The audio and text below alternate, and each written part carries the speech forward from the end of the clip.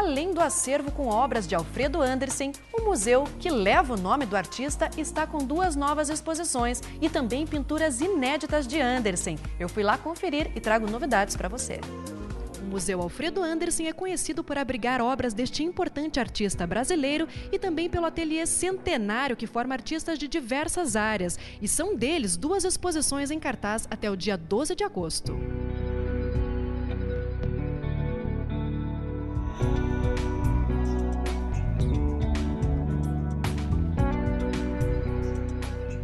É uma exposição que apresenta algumas obras que nunca estiveram expostas assim de uma forma conjunta, né? No, como está sendo apresentado aqui. E mais ainda, algumas obras nunca foram expostas mesmo né? no Museu Alfredo Anderson. Né? Arqueologias de Atelier, do artista curitibano Cláudio Boxon, conta com 25 fotografias que são resultado de mais de 30 matrizes fotográficas que, manipuladas graficamente, desordenam cenas aparentemente banais captadas pelas lentes. Eu busco que o resultado dessa sobreposição de imagens remeta ao meu trabalho de pintura e de gravura. E também que me dê aquele plim assim que não está tá pronto o trabalho, né? Então tem uma, é uma garimpagem que eu faço que tem N imagens e dessas N imagens consigo salvar algumas que ficam interessantes para expor. Né?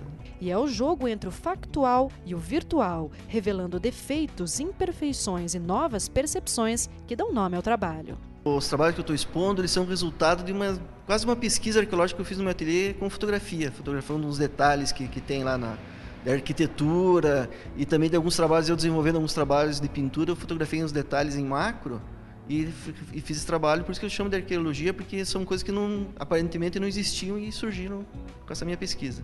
As esculturas da artista gaúcha Karina Weidle também representam objetos cotidianos, como uma caixa de fósforos e uma máquina de escrever, por exemplo, mas de forma representativa como cartuns, misturando a cerâmica com borracha, massa de modelar, gesso, espuma e resina. São esculturas basicamente cerâmicas, né? E que elas têm algo de figurativo, elas remetem a objetos cotidianos, assim, coisas muito conhecidas, como uma caixa de fósforo, uma máquina de escrever. Mas apesar de serem reconhecíveis como tal, como, como, como, como objetos que é, antigos, né? é, a gente é, percebe algumas alterações de escala neles e, e também a interferência de outros materiais além da cerâmica, né, que é, modificam um pouco a forma como nós conhecemos os objetos naturalmente, né? O título Desastres, parte 1, Solo Mole, remete ao sinistro e também ao humor dos imprevistos e imperfeições e também sobre a materialidade das coisas. Eu resolvi dar o nome de parte 1, Solo Mole, porque é, o trabalho está meio, tá um pouco de, é, é, dividido em episódios, né? O, eventos, né? Esse seria a parte 1, um, chamada então de solo mole. Tem outros já que estão em processo, que estão outros trabalhos estão andando.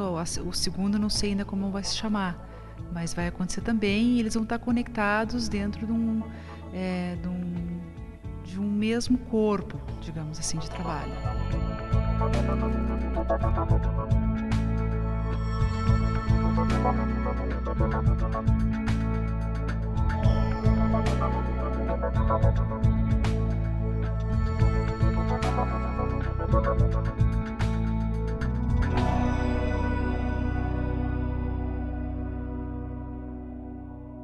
Então tome nota. As exposições ficam em cartaz até o dia 12 de agosto no Museu Alfredo Anderson, aqui em Curitiba.